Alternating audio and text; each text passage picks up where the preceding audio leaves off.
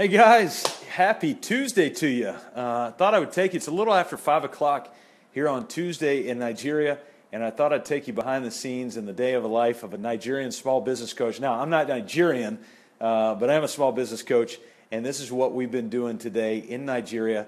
Uh, any of you who are small business owners, I thought this would be, uh, be kind of interesting to you. So this morning we started the day with a small business. It's a beverage distributor here locally. So think Coca Cola, all of that. Hey, man, Coca Cola's all over the world. And a lot of Coca Cola products drunk, uh, drank, whatever you call that, in this area. And uh, those have to be distributed somehow. And so there's a uh, local distributor here and ha- had an opportunity to meet this morning. And we're going to start meeting together uh, regularly because he's not only got that business, but he's got other business ventures he's interested in. And so we had a time this morning to really talk about vision, mission, values, discipleship, all of these things within the context of business. And so you might say, my goodness, can you do mission work in business around the world? I'm here to tell you, yeah, you can do it. We're doing it right now, and you can be a part of that. So, got to meet with a beverage distributor and uh, building an ongoing relationship with him. Second thing we did is we had the opportunity to meet with an organization we've been coaching now for almost a year. It's a real small non governmental organization called Care Africa. And hit, listen to their mission statement, see if I can remember this right. They invest courage in the voiceless and the exhausted. Man, that's their mission statement. You know, I tell people all the time your mission statement needs to be something that's real succinct, real portable, memorizable, but something that drives you out of bed in the morning, really gets you amped and excited. And man, doesn't that get you excited? They invest courage in the voiceless and the exhausted. So they serve a lot of either what they call single or double orphans.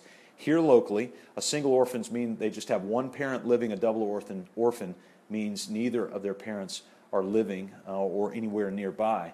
And so they serve these children in a variety of different ways. They place them in homes, uh, they look after them from a caretaker standpoint. Also, they help them uh, with schooling, uh, sometimes with funds, sometimes with clothes. I mentioned Dress for Success, an organization in the U.S.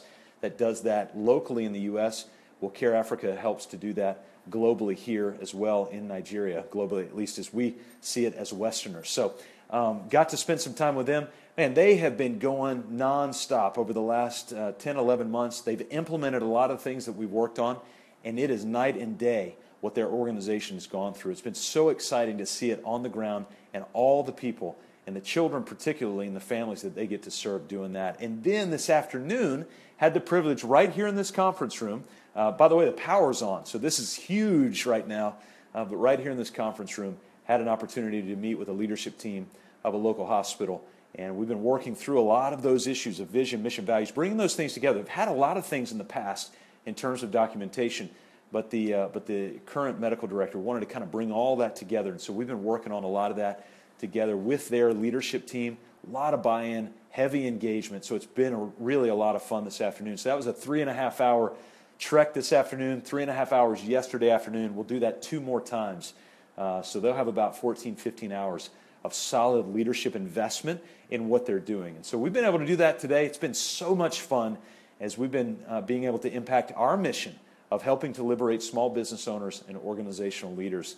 Uh, stop working in their organization, in their business, and begin to free them up from the chaos of working in their organization. So we liberate small business owners, organizational leaders from the chaos of working in their business.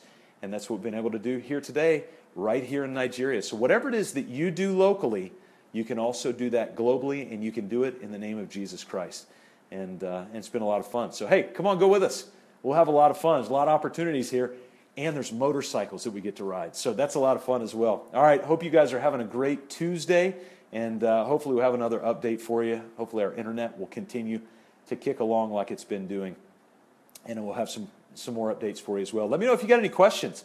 Love to be able to answer your questions about the Nigerian culture, uh, what we're doing, where we're at, uh, the type of people that we're having the honor and the privilege of being able to work with. Um, it's really a lot of fun. So I'd love to answer your questions if you have any. All right, guys, talk to you soon. See ya.